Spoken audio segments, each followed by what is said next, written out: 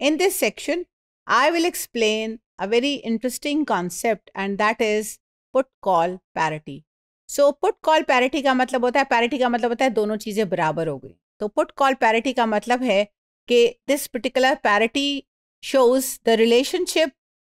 between the European put and call options that have the same underlying asset उनकी underlying asset यानी कि जिस asset पे put और कॉल ऑप्शन हो रही है वो उनकी एक्सपायरेशन और उसका स्ट्राइक प्राइस ये तीनों चीज़ें अगर सेम होंगे तो European put and call options की जो रिलेशनशिप है, उसको हम इस्टेब्लिश करने के लिए पुट कॉल पैरिटी इस्तेमाल करते हैं। मैंने आपको अभी थोड़ी देर पहले एक्सप्लेन किया था what is meant by European option and what is meant by American option European option का मतलब होता है कि सिर्फ़ वो एक्सपायरेशन डेट पर ही एक्सरसाइज हो सकती है। आप जो क्लॉज है ऑफ़ द कॉन्ट्रैक्ट, वो मना करती है कि आप उससे पहले उसको नहीं एक्सरसाइज कर सकते, एक्सपायरेशन डेट से पहले। लेकिन अगर आपकी ऑप्शन अमेरिकन है, अमेरिकन स्टाइल की है तो तब आप कभी भी उसको एक्सरसाइज कर सकते हैं। अभी पुट कॉल पैरिटी की हम बात कर रहे थे, it means it, the concept says कि जो प्राइस ऑफ़ कॉल ऑप्शन है, that indicates or implies a certain fair price for the corresponding put option with the same strike price and the expiration and vice versa इसी तरह से जो call option की जो कीमत है उसकी एक्सपायरेशन है एक्सपायरेशन डेट है उसका जो अंडरलाइंग एसेट है वो एग्जैक्टली exactly सेम है और बराबर है वो पुट uh, ऑप्शन से। तो this is this is how we can establish the put call parity put call parity सिर्फ़ यूरोपियन स्टाइल के ऑप्शंस पे एप्लीकेबल होती है, जिसकी पहले मैंने आपको वजह बताई कि आप अमेरिकन में कभी भी पहले भी उसको एक्सरसाइज कर सकते हैं, लेकिन शर्त है यूरोपियन में कि वहाँ आपको मेचोरिटी डेट का या एक्सपायरेशन डेट का वेट करना पड़ेगा। पुट कॉल पैरिटी अगर में फ़र्क आ जाता है, यानी कि पुट की जो पुट ऑप्शन की कीमत और कॉल की कॉल ऑप्शन की कीमत में अगर फ़र्क है, दोनों सेम एसेट के हैं और सेम डेट पे एक्सपायर हो रहे हैं और उसकी आपने जो स्ट्राइक प्राइस है वो भी सेम रखी हुई है। मगर उस आ, अगर दोनों में अगर कीमत में कोई भी मार्केट के फ्लक्चुएशंस की वजह से दोनों की कीमत बराबर नहीं है उनमें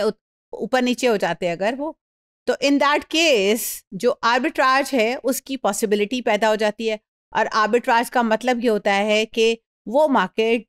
या वो इंस्ट्रूमेंट जिसकी प्राइस इंक्रीज कर जाएगी ऑटोमेटिकली उसका डिमांड इंक्रीज कर जाता है, उसका सप्लाई शॉर्ट हो जाएगा। अभी इस केस में अभी उसका प्राइस नीचे जाएगा इवेंचुअली और आर्बिट्राज जो करते हैं इन्वेस्टर्स वो इस particular difference of the price को यूटिलाइज करके जो कीमत ज़्यादा वाली चीज़ होती है, उसको ज़्यादा मार्केट में सप्लाई कर देते हैं तो उसका कीमत फिर वापस नीचे चला जाता है और फिर आपके पास पुट कॉल पैरिटी इस्टेब्लिश हो सकती है। सो so, अगर फ़र्क आएगा दोनों की कीमतों में तो फिर आर्बिट्राज की सिचुएशन पैदा हो जाएगी। अगर नहीं है तो फिर दोनों आपको पैरिटी के लेवल के ऊपर बैठे हुए नज़र आएँगे। नाउ पुट कॉल पैरिटी को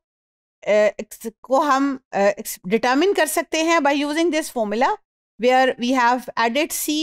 plus the present value of X should be equal to the should be equal to P plus S right now what is meant by these symbols which I have used. Uh, if we digress on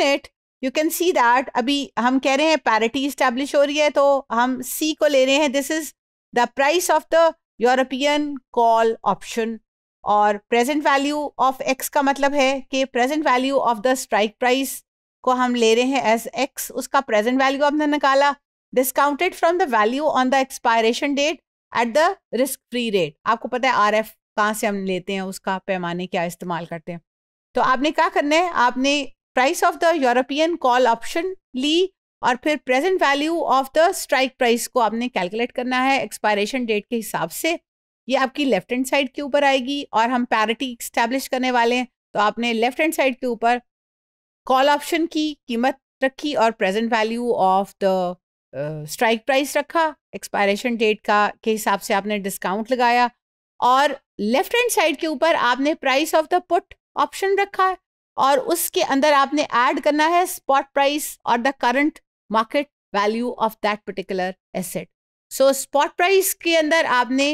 price of the put option के अंदर आपने spot price जमा करनी है और call option के अंदर आपने present value of the strike price discounted at the maturity date को आपने अकाउंट फॉर करना है और ये दोनों जिस